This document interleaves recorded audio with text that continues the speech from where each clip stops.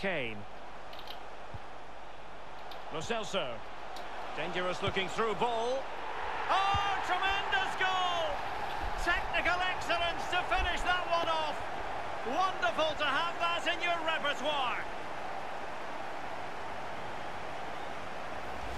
Well, here we can see, Derek, from this better angle, it's all about the technique. When you're volleying a ball, it's all about timing.